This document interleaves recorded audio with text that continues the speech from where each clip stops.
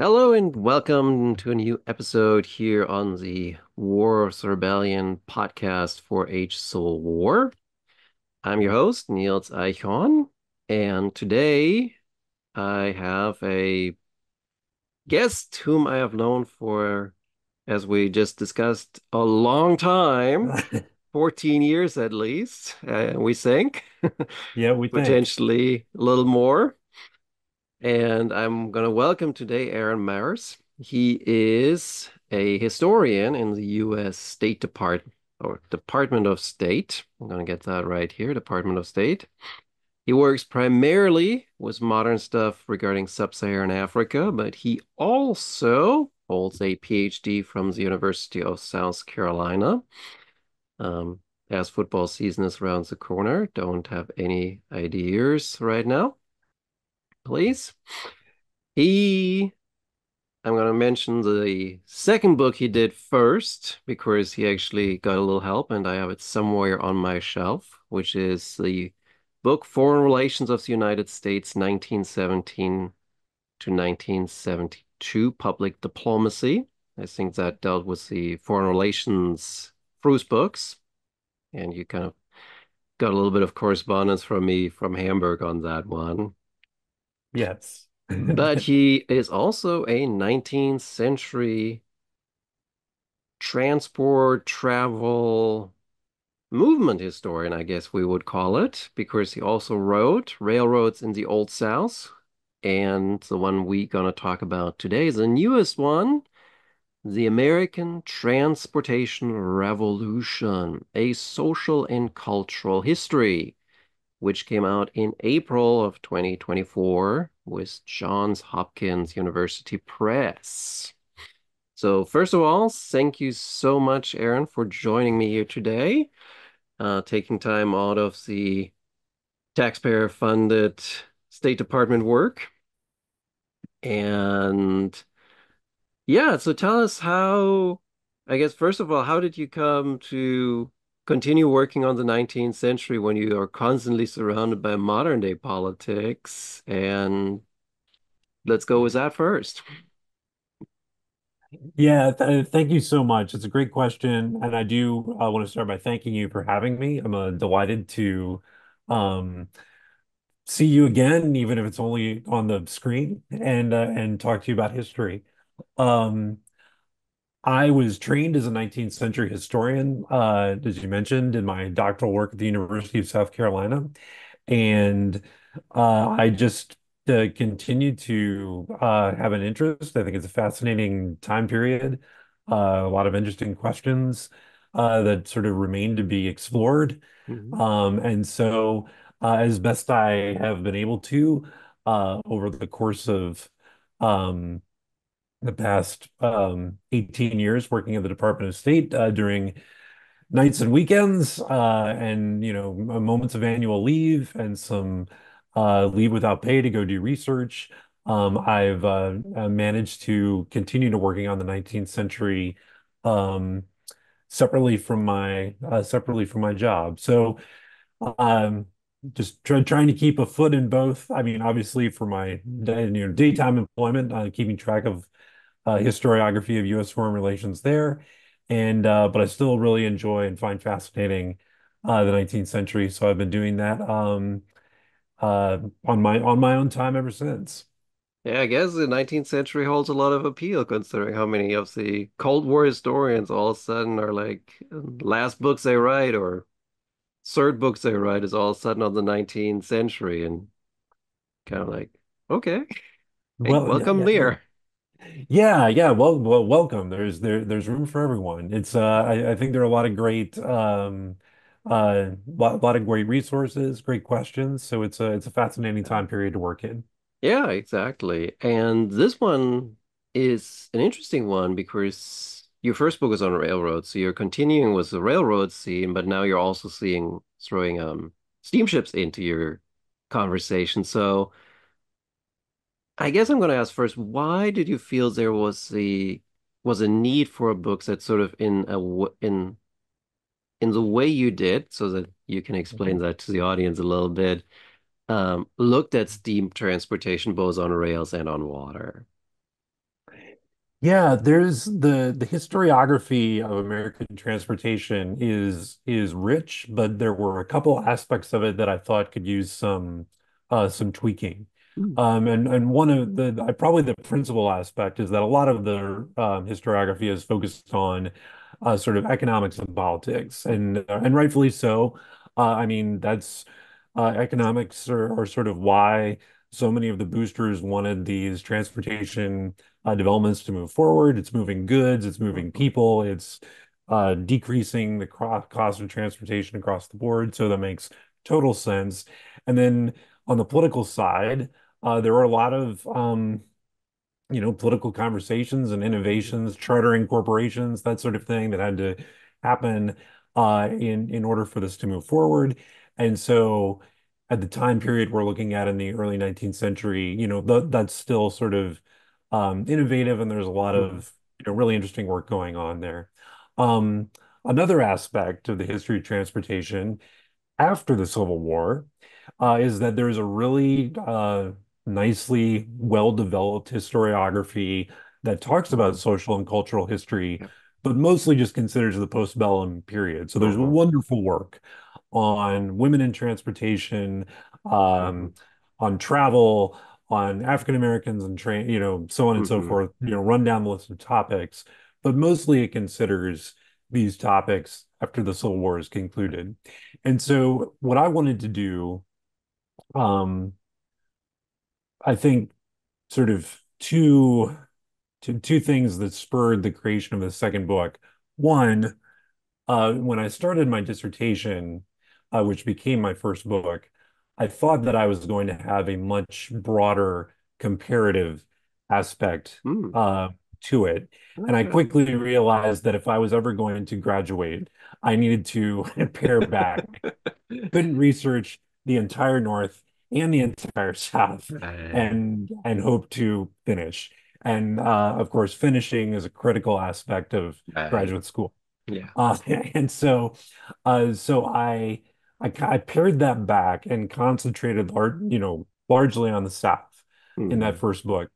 But so when that was over, I still had a little shoebox of research that I'd started, and I wanted to uh, expand that further. And so Yeah. that was one um, one genesis, and then the other was just just I knew from my reading of the primary research that the people living in the United States during this time periods, they themselves did Mhm. not um, classify. They they didn't sort of put into different Right. boxes these types of transportation. Just as, you know, when I fly home to visit my parents, I walk to the metro, then I get on the metro to the airport, then I get on the Mhm. plane to Iowa, and then my parents are picking up in their car. It's that's one, two, three, four, five different types of transportation, but it's all seamless in Yeah. one in one sort of movement. Yeah. And so um, I wanted to try to treat uh, all aspects of steam transit, railroads and steamboats um, as sort of one unified experience uh, Mhm. because that's how the antebellum Americans saw themselves. Right. Yeah, no, it's uh, that makes total sense. It's it is a we don't think it's like it's it's point A to point B and the it's sort of one process that we go through and that. Yeah. Right, that's no right. a great brilliant way of thinking there.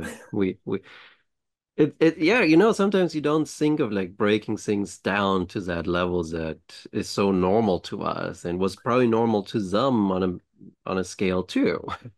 Yeah, I mean the that normalization um idea and process is also is another thing that really intrigued me and yeah is also something where I think the cultural, you know, uh you know, setting you know, moving away from the economics and politics for a second and looking at the cultural, I think that's part of where we see that uh normalization. The um the anecdote uh, that opens the book, uh, which is of a, a young lady in Texas seeing Mhm. the railroad for the first time, and she writes in her diary that everything seems perfectly normal Mhm. because of everything she had read and heard.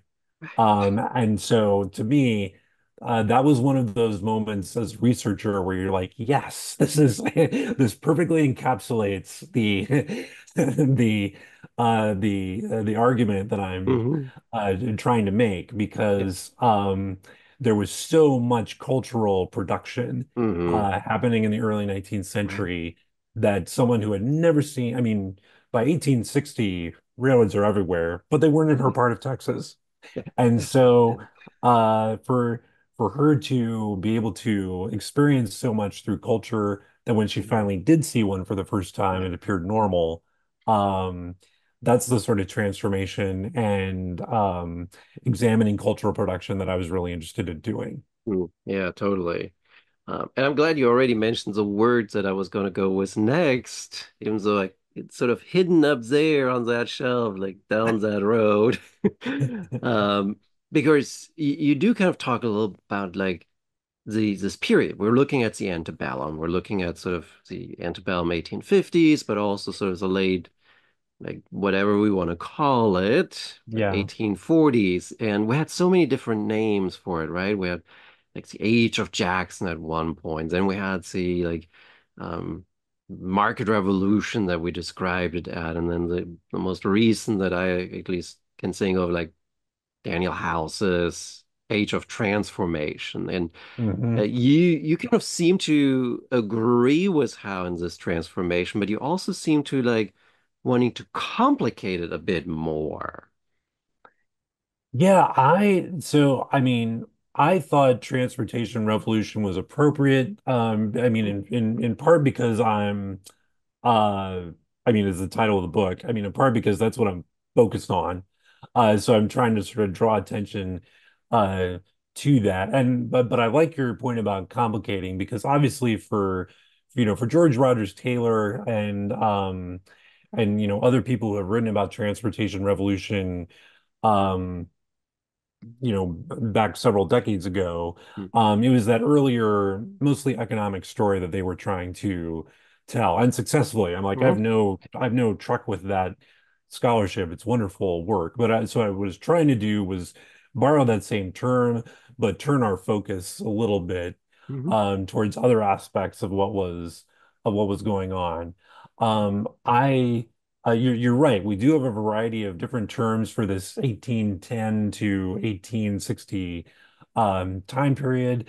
Um, my guess is that um, you know scholars are going to uh, select whichever one they think is most um, resonant hmm uh, for for the work that they're doing. Uh, and for me, transportation revolution was still appropriate because as I as I hope is clear from the the contents, when people write about their experiences, uh, revolution is entirely appropriate way to hmm to, to think about it. They were they were blown away uh, by what these machines were able to uh, change in their lives. Yeah, right. I mean, it's like the 50s when the airplane starts for a lot of people, and, and it's it's just or the the wheel for the first humans, and uh, yeah, there's certain moments where it just it's it everything changes in that. Yes. Um, Yes. even though today in the United States railroads, it's sort of like, what's that? Yeah, I mean it's, it's it's kind of interesting. Railroads in the United States today play um they play a huge role in freight. Right. Um, but they are but they are almost but they are largely hidden from uh, what most Americans experience. Now, I live in the Northeast Corridor, so I'm in one area where rail you do. passenger rail travel still uh, still functions uh, pretty well. But um, you are correct that, you know, for I think for most Americans, they don't think about trains day to day, hmm but um, a lot of the goods uh, that they use um, have traveled some part of their journey by train to get to to get to the store where they bought them. Uh, so trains do play a massive role in freight right now, but they are sort of hidden from Yeah. the from the larger cultural conversation. It is sort of an irony when you think of it, how the United States had this massive rail network for passenger travel and cargo travel, and the rivers were arteries of transport. And like today, you look at like Europe, and it's like, or in the United States, there's a couple of cruise ships that go up and down the Mississippi, and like couple literally, and then in Europe you have like dozens. Like a, we lived in near Linz for a while, and it's like there were sometimes were five or six ships. It was cruise Wow. passengers, and Yeah. Yeah. uh, and you, from there you could take a train and be in an hour in in Salzburg. You know, it's like it's just the kind of modality of travel that you mentioned. There was Iowa. It's it's it's incredible how things have changed in that, or revolutionized, Yeah. if you like. Yeah. Yeah. I mean, the, the stuff is always evolving. So, so, I mean, who, who knows? Uh, anything, anything's possible. Yeah. No, you, you did mention that, and I love that part, right? It's like when you when we think about where you're living in in the Washington area and then New York, Boston, that is a corridor, an artery, and uh, that we still have a lot of travel in. And as I, I I read your book fairly closely, I might not have picked up everything, I'll admit that. But I did notice a lot of references to like Massachusetts and New York and sort of the mid-Atlantic and New England states. And I noticed there was a lot of like, and you mentioned that in the introduction to that, that was sort of what happened as a result of the way you found materials, that it was more about Mhm. railroads at times than it was about steamships. And I kind of wondered, like, like how did you approach your sources? What did you, where did you find some like like I, I don't think you found a treasure trove somewhere that no one had ever looked at, but you kind of, I assume, read again, read sources differently. And Yeah, that's a that's a great question. Um, a lot of this was uh reading diaries hmm. and hoping that at some point somebody got on a train or a steamboat. And and Oh, they how's that and insidious? I, I didn't, well, I, I mean, it was, I, I learned a lot. And I mean, the good news is people did travel. And so, so as a general rule, um, it was, they, they were relatively high, uh, percentage shots. Uh, and, and I like reading, you know, uh, primary sources. I mean, that's the, that's the fun, one of the fun parts of being a historian. So it wasn't that, um, it, it was okay, but it was, um, it- you know, it's it's interesting. Um, you know, to the point about sources, you, you are correct that there wasn't. Um, I don't think I turned over um, a lot of new things. It's in terms of um, you know, I've read the same railroad annual reports that everyone else has been reading. Um, but history starts with questions, right? I hmm mean, we we start out with a question and we try to um, and and the questions that we have hmm lead us to read sources in ways that are different than people who, who read them with different questions. hmm And so um, I think that part of what um, so part of what I was doing was just looking looking at the material with different questions. And if I can borrow an example from the first book momentarily, um, the the the big thing that sort of clued me into that possibility was a material on slavery. hmm Um, these annual annual reports of Southern Railroad corporations are just chock full of um, hmm material about slavery. Um, but if you're not going through asking questions about that, if you're consider if you're worried about how are they things funded and how did they hmm sell bonds and you know all that sort of thing, um, this is not part of what you're going to be uh, looking for. So it, I, I, part of this is looking at similar sources uh, with different questions, which is something hmm historians do all the time. I obviously, you know, I didn't invent that. Um, but a lot of it was um, through, um, well, I read a lot of things that are not cited in the book, right? And so it's just you, Yeah, I you, can you just, imagine. you just, you just got to read a lot of material and, um, excuse me. read, read a lot of material and um and the, the great news is when you do come across stuff it's usually fantastic uh because people hmm are writing in their you know they're writing their private thoughts in their diaries or writing to their friends and uh, so many of the evocative um, metaphors uh, hmm that ordinary people used to describe their travel experience. Um, and I mean, those are all diaries, letters, personal, personal stuff. But it takes it, it takes a lot of reading yeah. um, to get there. Um, Well, on the geog on the geographic mhm. um, issue, Um, I certainly tried as best I could uh, to uh, to get a to get a swath of America. Um, and I would hope that if other people uh, with better access to resources in other areas uh, can uh, can can do that, that would um, uh, that would be, you know, I, I'm I'm I'm always in favor of, you know, more people studying this stuff. So I hope I hope it can happen. Well, you know, I mean, you had to you have to read closely at times to kind of spot that. So I'm I'm not sure how much people will notice it as well, sort of like it. Um, but I, I kind of was going back to your story from Texas, right? Of like how like when that lady sees the train for the first time, it's like, oh yeah, that's how a train looks, right? It's not something it's not something special, it's something normal for her. And Yeah. I kind of was going to say, wonder about like, isn't that also sort of a danger with regard to your research? Because, right, the more normal something is for us, the less we would record and talk about it. Yeah, and so I, I, a lot of these descriptions that I found are of uh, the first time. uh, that yeah. someone stepped hmm on. It's the first time someone stepped on a steamboat, the first time someone stepped on a railroad. Now, the Yeah. nice thing, I mean, in terms of volume of research, is that that experience is something that expands geographically and over time, right? Yeah. So, you live Yeah. in Massachusetts, your first uh, experience on a or or New York State, your first experience on a steamboat is going to be very early. hmm And but you know, as you move west, it's later. So there's always time to uh people's first can happen hmm chronologically over that whole 50 year span. Uh so there's still plenty to it's not like everything changed in hmm 1810 and then like that was it.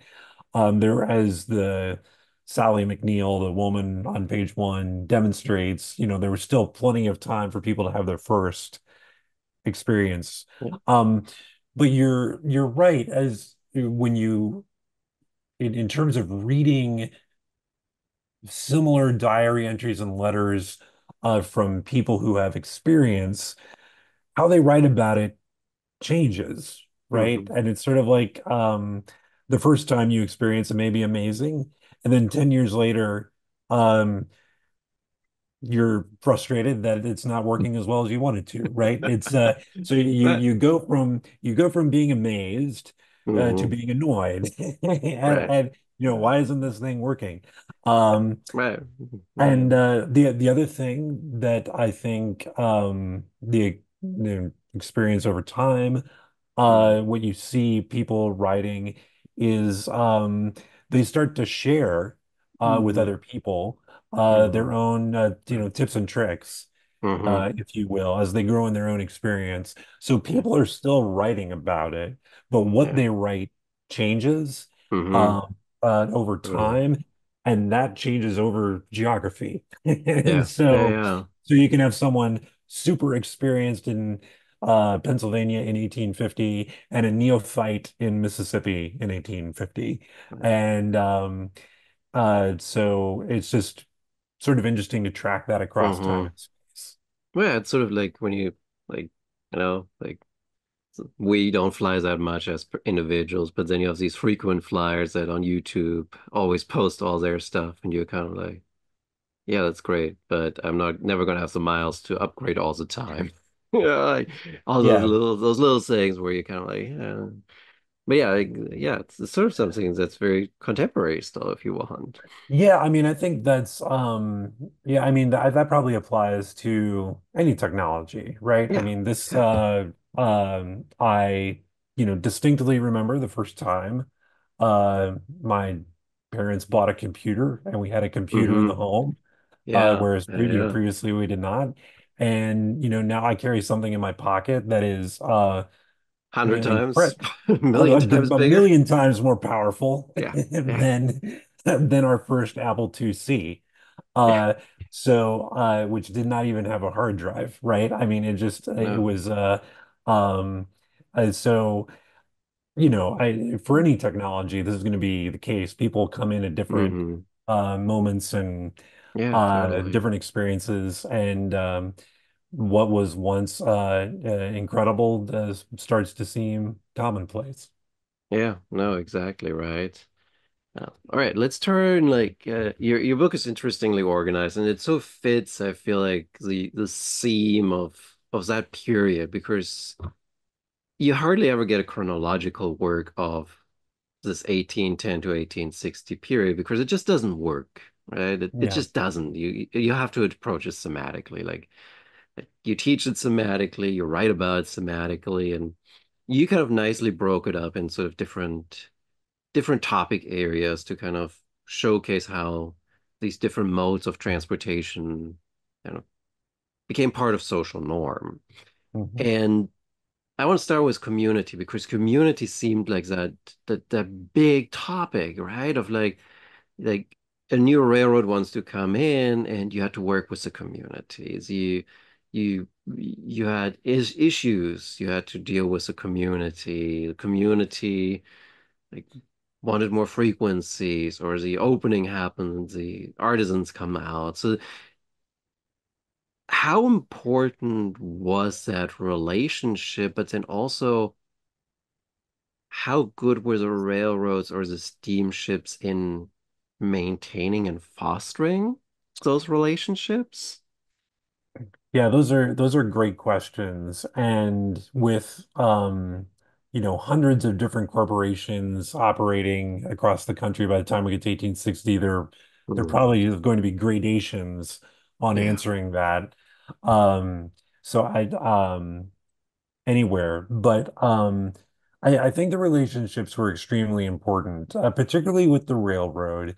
Um, you know, a steamboat is um obviously a great technological achievement, but people had seen boats hmm before, Yeah. and they're and they're using existing waterways. hmm Uh, but a, a railroad, uh, in addition to being a new invention, something people hmm hadn't seen before, had to uh, sort of impose itself on the landscape, hmm and almost always there's something already there Right. uh, that has to be uh, replaced. Hmm And so that involves negotiation, uh, that involves um, you know working with landowners, hmm uh, that involves disputes over how much they think the land is worth. Um, and Yeah, I we don't have eminent domain yet, so you can't just right, take it. right. And so this is a um, uh, it's a tricky problem. And I think that, you know, railroad corporations uh, worked very hard to um, educate people about the hmm benefits of what, uh, excuse me, about um, about what would happen when the railroad came through. Um, you know, sometimes corporations had to make uh, concessions, sometimes hmm landowners had to make concessions. Right. There are sort of constant debates about who's going to build the fence, who's going to maintain the fence, so you're going to uh, um, Right. all, all that sort of thing. Um, I, I think for the most part, these things worked out, right? Because we did the railroads did eventually get built hmm all all over the country, Right. and it is one of those things that sort of as after the first ones are constructed, then people do can see, read about, or see for themselves. Um, whether or not the benefits that the corporations promise are are you know quote unquote true or not. hmm Um, so um, the community community rela- relations were I think very very important. And I've forgotten the second part of your question. Um, well, okay, we're just gonna go on from here because Okay, I, mean, okay. Actually, uh, let, let's let's think about that because I I loved the the kind of way how you were like, and it again so spoke to this period, right? Of like the town wants a railroad, and it's like you have to buy it almost, right? You have to bribe the railroad company, or you, the surveyor needs to be is getting bribed to suggest that I you should direct the railroads this way, and it, it seems like so it so fits the period. Yeah. Yeah, it's um I I think the example you're referring to is from Minnesota where uh, people approached the engineer uh who a civil engineer uh, who then swore that he would never, you know, accept a bribe from anyone. Who knows? Uh, but it's um I think that speaks to um I mean there's just always tension, right? hmm Uh, the uh, the civil engineers have their one vision of how things, you know, if you just look at the topography and say, okay, this is where it has to go, Right. but it's never just a matter of topography. And Yeah. there's there's already people there, and they may have their own um, agendas or their own um, ideas of where they want to see the railroad uh, go. And so it's never a simple matter of, well, this is the um, the most logical route from a civil hmm engineering perspective. So off we go. Uh, there's always there's always politics involved, and hmm the the the fascinating thing about a railroad to me, or one of the fascinating things, is that um, it it had the ability to uh, improve a town's standing. hmm Obviously, if the Yeah. railroad goes through, but there's nothing preventing the railroad from continuing to go on. So, uh, unless there's some geographic barrier. So, uh, you can lobby the, the railroad and become a terminus and become very profitable, but if it keeps going and then you're turned into a race station, so there are no guarantees Yeah. uh, in this um, life uh, that just because the ra you convince the railroad that it's going to end up uh, having permanent benefits. So this is a topic that um, I don't think ever ends. Uh, it's Yeah. it's always is sort of constantly weighing Mhm. Uh, between what the corporate corporation's interests are and, and the different communities that it has to work with. Yeah. It kind of reminds me of like the story of Buffalo Bill who buys like that town out in what is West Tex West Kansas or Nebraska and he's trying to get the railroads there the railroads just like never comes. It's like it's just this disa financial disaster for him. Yeah, yeah, and and it, and it um It's um it's just the competing different interests that have to be weighed. Yeah. And um I think for me what's really interesting about this time period is that the corporations do have to do a lot of education uh hmm to Yeah. teach people what a railroad actually hmm is, uh down to like it's on tracks, it's got wheels, and um uh, you know, we were talking, you know, a bit about what makes this period interesting, and and one of the things is that some of the things that we consider settled were not settled. Yeah. Uh, you know, and one of one of those questions, of course, is like who will, um, who gets to use the tracks? So the Yeah. the idea that hmm one company owning the tracks and owning the rolling stock and doing all the operation, Yeah. that was not a settled question. And there were some cases where rails were put down and then uh, anybody could bring their cart on. Pretty quickly, it was obvious that wasn't going to work from a from like a time management perspective. But hmm it's one of those things they didn't know until they Right. tried. Right. So, Well, and it it uh, I was actually saying you were going to go a different direction there with with oh, that because you also have these stories of people walking on the tracks and then falling asleep on them, uh, much to the Um, I'm um sorry, you yeah I, I'm I sorry, you just froze on me. Okay, I will Um, repeat but it here. But the walking on the tracks, right? Like people walk on the tracks. It, it kind of reminded me of like a story that my classmates in Germany talked about. Like, oh yeah, we were on the last train. We just walked on the tracks back to our town where the train didn't go. And I kind of was like, why would you do that? But but you have it, right? It's like people fall asleep on the tracks and then the train comes. Yeah, this this is a uh, this is a concept in the history of technology, uh, which was just really important to me. Uh, you know, as I was in graduate school, learning about this stuff and then trying to apply it into my later work, which is the the, the inventor of a technology and the users of a technology may have completely different ideas about hmm how the technology is supposed to be used. Right. And uh, you know, to your you know, you're worried about your friends, you know, the train tracks are the one place where you are guaranteed to get hit Yes. by a train. Um, uh,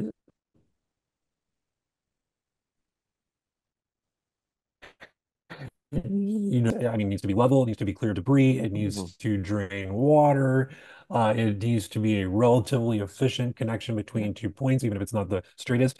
Um, those are also great for walking. Yeah. And so and so people made their own use uh, of this technology uh, in a, in a way that the corporation uh, either did not expect or certainly did not intend. Yeah. And um, you know, as your own example alludes, walking on the tracks has not left us. That's not a purely 19th century invention. Um, but once you put a technology out there, uh, people are going to use find different ways to use it that may not be what the inventor expected. Um, which means that the the the people who invented it had to then consider what are we going to do, you hmm know, what do we do about this problem? And so it's a for me that's a great example of, uh, how users and inventors uh, can have different uh, concepts of what a technology is for, hmm um, and uh, what it's supposed to be used for, be things that the inventors expect. Right. Mhm. And I, I'm sorry, I lost you again. Did you get any of that? I got it. I got it. Okay. Okay, great. I'm not sure it's shouldn't be an, an unstable connection. I'm actually on the good network, but I, I don't know. Uh, Um, but it, it it may be it may be me. I'm oh, sorry. it's okay. That's that's a pitfall of these kind of recording types. Um, but I actually was thinking too because you had that wonderful episode from from Michigan. Like it's it's just like two paragraphs, but it, it caught my eye where you were like livestock gets killed by the railroad. And what do the farmers do? They go and take revenge by greasing the tracks. You know, it's like, but it, it so speaks to, right, these conflicts over land, of usage of the land, how the railroad interrupts farming habits, right? And it's like, it just, it's again spoke so much to just not just the start of railroads, but the continuation of railroads, right? Of like, it's still a problem in parts of the country. Yeah, ab absolutely. And this is a case where I'm I'm sure those farmers benefited from, from being able to ship and receive goods on the train, hmm but that doesn't mean they wanted the train to kill their livestock. So it's like sort of like just be just because we uh you know accept this and and think it's a hmm good idea doesn't mean we're going to let you get away with everything. Right. Um, so it's a um a, another great reminder about um how um ju- just these relationships they were complex, they were not always hmm straightforward. Um, and you know, as you say with sort of uh, greasing the tracks, um, I people weren't afraid to um to take their own actions to defend Yeah. what they saw as their rights. Yeah. Like, I guess you could think of sort of those guys that glue themselves to runways and roads in Europe to kind of grow awareness. Like, it, it- how do you get people to pay attention? Well, grease the tracks. Um, Yeah. so let's go a different route because you the other part that I found interesting because it's so common for us, right? Of like, I can go online and I can book a ticket today from Hamburg to Washington. And if I like, let's say I book it with, no, I'm not going to promote any airlines here. They, they don't pay me for it. Like, whichever airline I book it with, um, they will probably be like, ooh, do you want a rental car with that? Do you need a hotel with that? Do you need an airport shuttle with that? And it it is exactly like like I mean you look at travel logs uh, or travel guides for the 19th century, you look at newspapers. Um, that's exactly what they did too, right? Of like your train arrives in Cincinnati at this time, and the continuing train to Louisville leaves at this time, or the steamboat to St. Louis leaves at this stage, and they offer you like like fares to kind of buy, buy the continuous voyage for the whole thing. Um, did they do it? What's your thought? Do you do you think they did it sort of to get more passengers, or because they understood that the more convenient you make it, the better for everyone involved?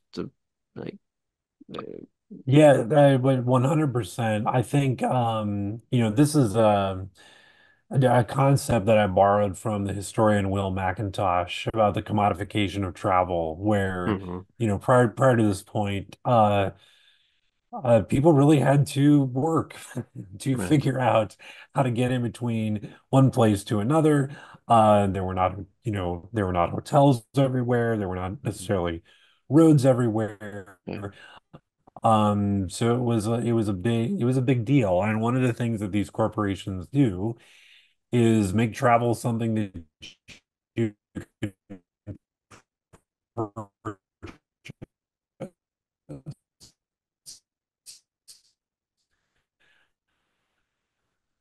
uh, They would want to repeat not that one. something that you have to um it in the way and the book and outside of it of railroad companies um owning their own steamships to hmm or or owning stagecoach lines uh so that uh because the more destinations you can offer hmm to someone um uh the the more likely they are going to be to buy uh buy a ticket. Uh so yeah I uh the corporations had every incentive uh, to try to partner with uh, or own outright uh, different modes of hmm transportation if that would help them uh, increase the number of destinations or the convenience hmm uh, that they could offer. Um, and you see this, I mean, you alluded to a couple examples. Another uh, that I saw a lot was uh, companies saying that we will check your baggage all the way through. You leave it on one train That's and you great. don't have to worry about transfers. Yeah. Uh, your bags will automatically be um, put on the next train, put on the boat, put on the coach, what have you. Um, so yeah, companies were definitely looking for ways to make things Mm-hmm. convenient for passengers. Oh, great. Yeah. And I mean, we, we still love that today, right? Like, I like when the airline checks my bags through all the way to the end and I don't have to reclaim them. Well, I I mean not only that, but it, it would it would seem crazy to us, right? If uh yeah. if I I mean like when I fly to Iowa, I go through Chicago, and it's inconceivable that they would say to me, "Okay, now get out, go on the tarmac, take your bag, put it in the other plane, and get on the new plane." Like it's not even I mean it's not not even something we would ever consider. So yeah, it's um uh but that transformation started Yeah. uh during this time period. Yeah. But I do want to cycle back to like when you said like lack of sort of infrastructure in, in regard to Mm. like hotels and food and stuff. That would kind of signal, even though the railroads eventually win, that the steamboat should have the legs up because they have usually cabins on board where you could sleep overnight and you kind of kind of rest and you don't need to worry about where do I find something to eat or where do I need to find a hotel now to stay overnight and stuff. So, Yeah, that that you're you're you're pointing to a great advantage that steamboats um had. And for longer for longer journeys, you would see there might be a sleeping berth on a train, but the steamboat uh could could easily be a floating hotel hmm and Yeah. uh a more convenient place to more convenient place to stay. And so if you were you definitely see that in the in the primary sources. If uh people if they're fortunate to fortunate enough to live in an area uh, where there are multiple competing options, then Mm. that's total that is entirely a consideration. Um, and uh, yeah, Okay. Then how do I feed myself on the train? uh, well, a couple of options. One, you can bring food with you. Okay. Two, uh, when the train stops at a station, uh, put down your window and say someone may try to sell you something through the window. Um, And uh, three, uh, there are also uh, salesmen who um, would just walk down the center aisle. okay. Uh, as you know, our hmm layout for for trains in the United States uh, today is essentially what it was in the 19th century. So a hmm center aisle down the middle, and then two rows of seats on hmm either either side of that. And so uh, there were people who walked down the middle of the train selling uh, fruit, selling newspapers, selling books. Yeah. Um, and uh, but I think a lot of people also just sort of brought their own hmm uh, uh, food along as well. Yeah. And um, So it, it, could, go both ways. Bring your own or um, uh, take advantage of people trying to sell you Yeah. It's interesting where, where he says that I, had to do a couple of train rides recently, and uh, Germany now does a deposit system. Like when you get a plastic bottle, then you buy it, and it's like 25 cents. When you bring it back, you get those 25 cents back. And there were a lot of hmm homeless people that hopped on the train in like Berlin and went through the garbage bins to look for those types of bottles people had thrown away. And it, it, it in that case, it cuts both ways. All sudden today, right? I can buy something on the train and somebody picks up this stuff and turns into money for themselves. Um, there was a lag in connection. Yeah, no, I just uh, I Yeah, that that's that's fine. I think people very quickly uh, realized that a stopping train was going to be an opportunity for commerce. Uh, so if you didn't, uh, if if people didn't bring their own um, food or or, or uh, then there's there's an opportunity to try to solve them something. And I think some this is one area where at least I wasn't able to fully tease out from the literature, second uh, primary literature is this something that the railroad companies themselves are overseeing in terms of they're Mm, trying to make money from it themselves, or is it something they merely um, tolerate? Mhm. And uh, so I can't give a definitive answer as to what degree responsible, you know, at stations, people trying to sell you stuff through the window, uh, or someone walking down the, the middle of the train. Yeah. No, it, it makes sense, right? It's like you look at Asia, you look at Russia or India, it's still being done on to to a certain degree today. And Yeah. um, but I, I think where I was going to head to is like you, you what you're alluding to is the importance of the station building, right? As sort of a place where where some of that commerce can take place, where you can have like a person selling at newspapers or or vegetables or Mhm. fruit or sandwiches or whatever. And um, how do I have to imagine it? Like either a steamboat landing or um, a railroad station during this period. Yeah, I mean, I, I, I think uh, you know the classic historian answer is it depends, and so it's it's gonna be it's gonna be one thing in rural South Carolina and another in in Philadelphia. Um, but I think as a general rule, these would definitely be sites of um, activity. Uh, you know, Mhm. these. I think to your question about you know railroad stations, the the the scale may be different uh, depending on where you were at geographically, but I think no matter where uh, you were located, there was going to be a lot of activity. Uh, it's Mhm. goods being loaded and unloaded. Uh, it's passengers getting on and off. Uh, it's people saying goodbye uh, to to to the people they love. It's welcoming welcoming them back if they've been gone uh, for a long time. So there's a lot of uh, there's a lot of activity, there's emotion, uh, there's stuff moving around. Uh, so it, it's, you know, maybe different in a rural outpost than it would be in a big city like Philadelphia. Mhm. But, but even if the scale is different, the, uh, the, the basic function is going to be the same. And these railroad stations were also, uh, you know, going back to the point about the, the community, Mhm. um, you know, these were also gathering places for Oh, yeah, yeah. um Mhm. For other for, for other types of events. And so there could be uh political meetings, there Yeah. could be uh religious services. Uh these are there could be musical concerts. Uh, if a if a smaller community didn't have a lot of other large structures uh, that that could serve for that purpose, uh, then railroad stations or railroad cars uh, could get pressed into service uh, for uh, to serve uh, for these other functions. Didn't you like make sure the connection works? Which is another great example of sure in ways that the Oh, I'm sorry. You're fine. You're fine. Um, uh, it, okay. Uh, in ways that the corporation didn't intend.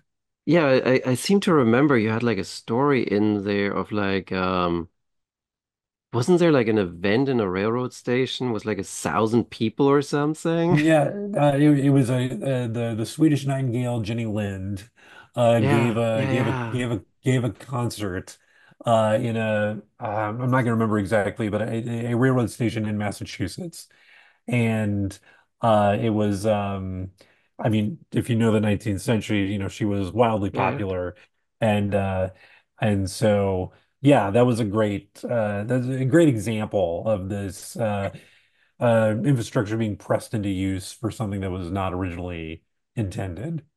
Yeah. I just like I, I just trying to imagine a like a railroad station and I think it was on the second level Yeah. with that many people and not collapsing or something. Well, they they they they pulled it off. So Yeah, it was everyone made it out uh alive, I guess. every everyone made it out alive and they got to hear Jenny Lind. So so there you go. Oh, good God. Um, but oh yeah, that that led to the other one that you you had a I think it's the last chapter actually you devote to sort of practical tips that people give, especially for women travelers. And they always, I, I love the part where you kind of, one of the suggestion was like tie a ribbon around your back so you can easily recognize that, which is like, it's brilliant. We still do it at the baggage claim, right? Like my wife puts always a ribbon around our bags so that we can easily spot it, right? Like a really big like tie that I put around mine to kind of easily see it. And I thought it was brilliant, right? Like, it, but let me ask it this way. Which of these suggestions that you saw was the one where you kind of went, that's weird? Oh my. Um I don't know that I'm going to remember them all. Uh but it's um I just want one or two, I right? You don't need to yeah. give me a list. Oh yeah. Um Well, I thought it was weird. Um, I think I'm sorry, I don't know that I'm going to be able to pull one up. Uh, it's uh, let, let let me say this about the suggestions. One of the interesting things to me about this particular topic was um, we it's a good example of material where we're only getting one side of the story. And Mm, so we can see a, a mm, parent writing to a child saying, do this, this, this, this, this. But we don't know if the child was like, ah, come on, dad, forget it. Or do, do they take it really seriously? right, Um, right. and so I think I the the suggestions, I'm sorry I can't uh, remember a good example for you. Um, but I i they are something where um as a writer or someone looking back or a historian looking back at the time period, I try to remain cognizant that um, we have no idea if um, those suggestions were sort of gratefully received or seen as an annoyance. Um, and I think this particularly comes up when it's men uh, writing to women. Mm, Uh, hmm B- Because there, then there's The is the. Exactly right. Exactly Yeah. right. So, did I mean, I would obviously love to know this part of it, but we just don't. I mean, were the women thinking, well, of course I know that. Like, what do you, what, what, what, what are you You think I'm stupid, right? Yeah, exactly. Exactly. And so Yeah. I, I, I try to be a little careful. Uh, I think the hints are good to know because of exactly what you pointed out. Like some of them are really good and we still, we Yeah. still use them and they make perfect sense. Yeah.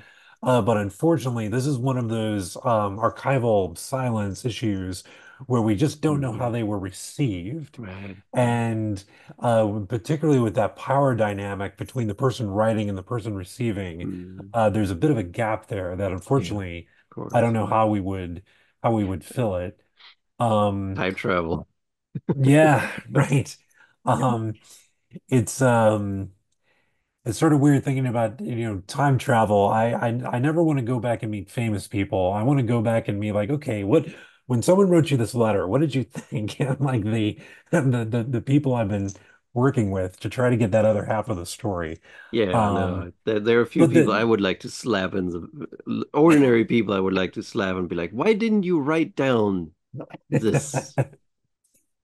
But I'm but I'm grateful for what we have, Yeah. and I think the accumulation of these travel tips also speaks to the normalization of what was Yeah. happening. So hmm we go when I get we go from amazement to here are my 10 strategies for going from New York to Boston. Yeah, yeah. And and and when I do these things, I know that I want to be in the last car. I know that I want, you know, to mark my luggage in this way. I know that I want to buy the ticket at that booth and not this booth. I mean, just all the things Right. that um, we all do when we travel. We accumulate knowledge and Yeah. and and figure out what's going to work for us. Yeah. And um, that that happened back then as well. Yeah.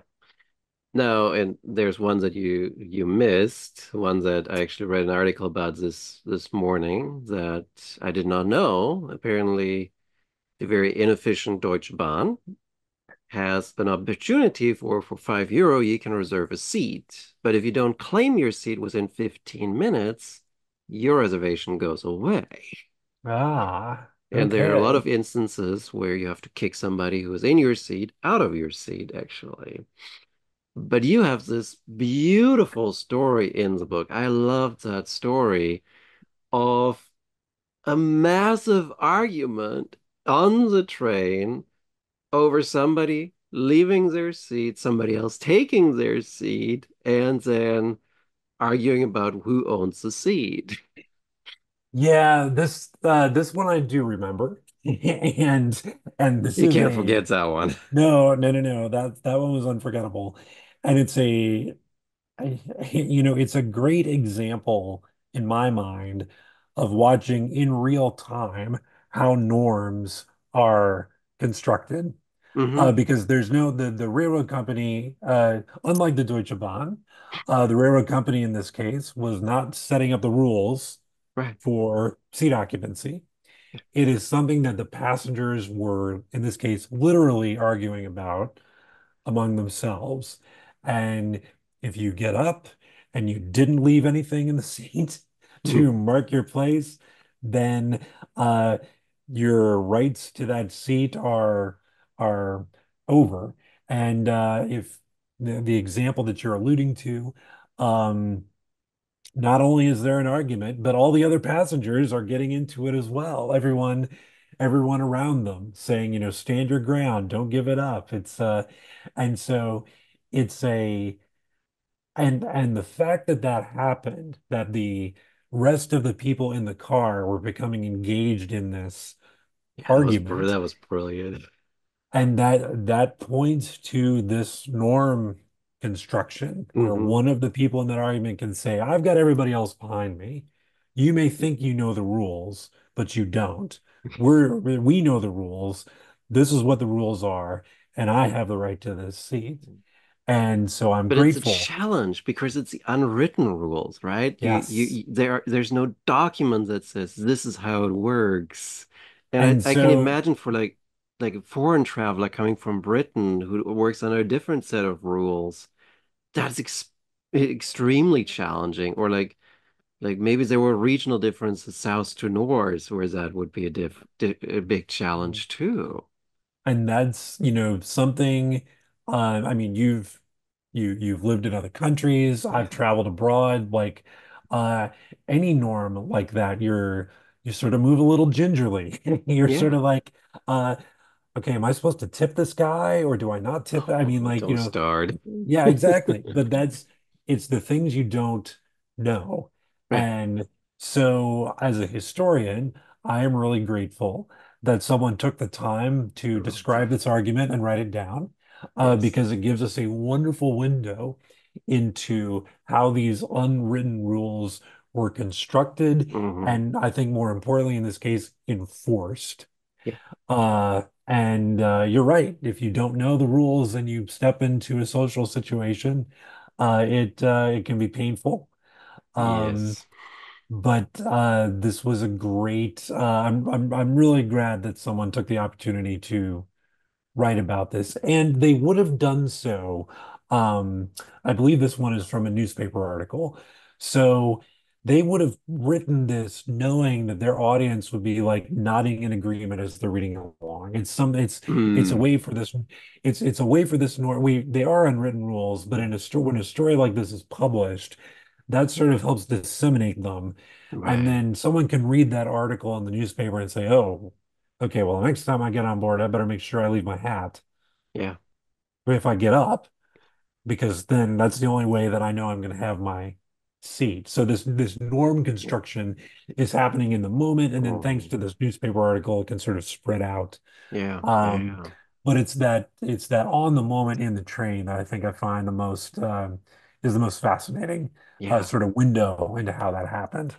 Yeah. No, I, I love that. That that was such a great story in there. Um, all right. Let me look at some of my talking points here as we get towards sort of, sort of the last stretch for us here today. Okay. And there's so much more in there, but I briefly want to at least give a nod to to race because that was you I have to cheat now. I think you devoted two chapters to that topic. Yeah, so I, I have one chapter on black passengers and one on white women. So Yes, yes. yes. Yeah. And so let's let's do the black passengers because I really I remembered like uh, when I was in Georgia, I had a student who worked with the National Park Service, and they they Mm, they researched for the National Park Service actually the Craft story because they were in Macon and took the train down to Savannah and like the whole hiding in plain sight kind of thing that they they did. And of course, in the context of that, Box Brown came up as well, and I was not aware that there were a lot of Box Browns. Yeah, I, I was not aware either. Uh, this is my this is totally my own um ignorance. And I I I promise you this just came from reading the newspapers. Yeah. I just I mean I was going through the the black press and going for you know any mention of a train or steamboat that I could find Yeah. and uh and this stuff is in there. And I think it really Um, you know, you know, obviously the, the the cheat stories that get published are the ones where the people get caught. That's how we we we we know about it. But it, I think it hmm really points to the ingenuity and um the, the ingenuity and the determination Right. uh of of people uh who were enslaved to use whatever means they could grab onto to um if they if they saw an opportunity to to escape. And it is um you know, one thing I've been I've been working on this book for a very long time. I mean, as I alluded at the beginning, this is not my my main work, so it's something that I have to do when I have sort of sort of time outside of my job. Uh, but one thing that I've definitely noticed in the historiography over the past 10, 15 years is that our understanding of um, uh, the Underground Railroad and sort of how it operated and the different aspects of it has really hmm um, sort of exploded. Yeah. Uh, at least it seems to me, sort of works by R.G.M. Blackett hmm and Churchill and and and so hmm on and so forth. Uh, really contributed to my own understanding of what was possible Yeah. uh, in terms of people attempting to escape. Um, But you have to but admit, I mean, it's it's bold, it's daring, it's oh, crazy to kind of put yourself in a box, mail yourself. You don't know how long it will take. Like, I don't even want to think of like food and toilet needs. I Yeah, mean, uh, or or breathing. I mean, I mean, just like I mean, yeah. Yeah. So, uh, each one of these stories is incredible, and that's I think that's why I Yeah. took the time to make sure I detailed all of them, uh, as best I Yeah. could. You know, usually we just have Yeah. one or two newspaper accounts, um, but I tried. Uh, I promise you, everyone that I could find is in the book because every single one of them was incredible, Yeah. and I think it is. Um, you know, again, I'm since I'm not a, you know, an, an expert in, you know, fugitive slave act or anything like that, I, I don't want to, you know, step too far outside the bounds of my knowledge. But for me, at least, coming to this as an outsider, and you know, Henry Box Brown is the one that I knew, Yeah. uh, and and the rest of these were, uh, were at least to me a surprise. Uh, so I. Uh, but it's one of those things again that once you read it, you're like you you know exactly uh, that this is this is going to be a critical part of the story But uh, it's as it's soon in the moment you're doing the research. also what's so fascinating about it is that it's not imitations, right? Because Right. the slave in Arkansas is not going to have read anything or heard anything about Box Brown. They came up with that on their own, Well, right? and Like, and then some of them predated yeah, uh, uh, his his efforts. So yeah, I mean, this is you know people. As I knew from my first book, uh, enslaved people played a crucial role in building and operating transportation networks Mm, in the South. yeah, And as they were doing that, they were also creating a potential means of escape, uh, hmm not only for themselves, but also for their uh, for their families, for their brothers and sisters, their compatriots, everyone who was uh, around them. Now, that doesn't mean it was easy, uh, and, it, and because um, you know, railroads and steamboats are very visible and they're hmm very yeah, and yeah, and but uh but if you could get on one, whether either by hiding yourself or hmm disguising yourself or you know having you know someone you're working with help you, it's the fastest way out of the South.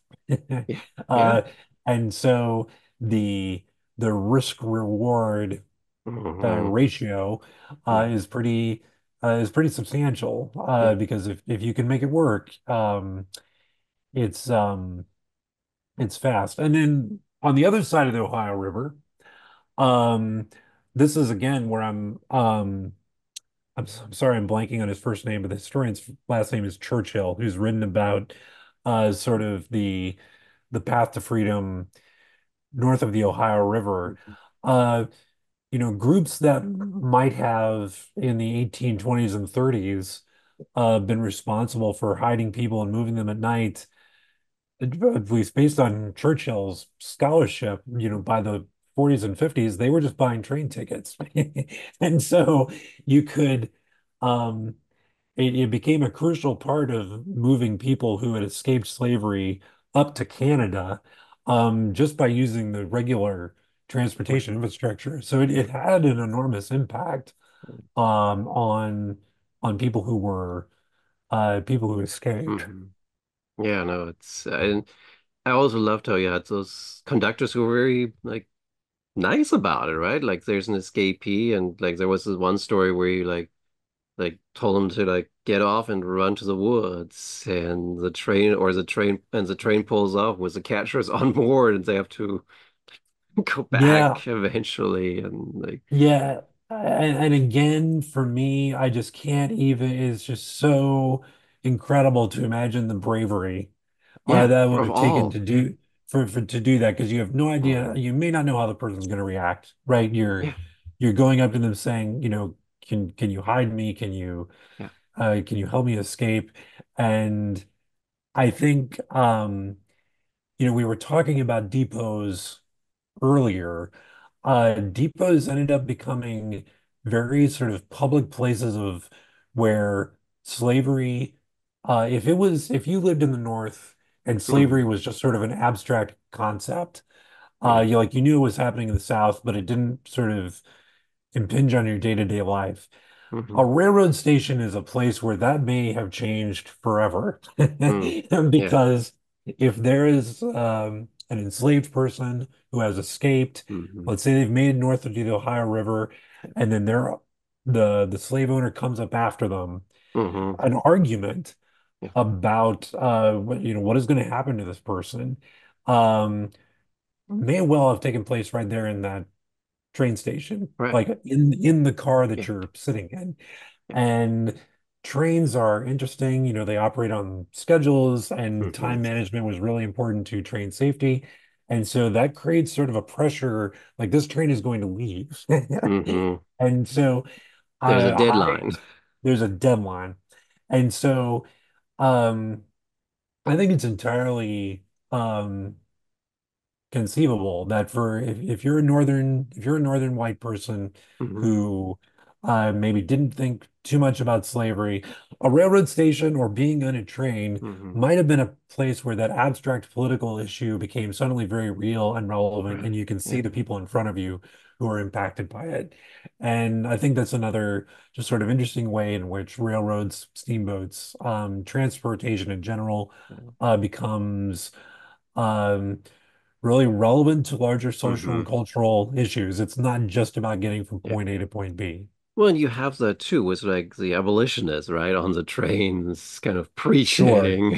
It's it's Yeah, a absolutely. captive audience. I, I kind of felt Yeah. like, yeah, that's This this is another um I think example of um what was well at least to me is inconceivable and I, I assume for most people traveling Mhm. today to me it's impossible to imagine that if I got on a plane someone would stand up and say you know let's do a straw poll of how we think the presidential election is going to turn out this November and then everybody on the plane votes and they like read off the tally but those sort of political activities and yeah, discussions and they took place. sort Yeah. yeah absolutely and uh I think that's a um uh, I just can't imagine that happening in current transit, but in, in the 19th century, that was uh, definitely something that would happen. If I could say, I, I took a moment to look him up because I want to make sure he gets credit. It's Robert Churchill is the historian I was referring to earlier, and his his work uh, has been really, really important to me.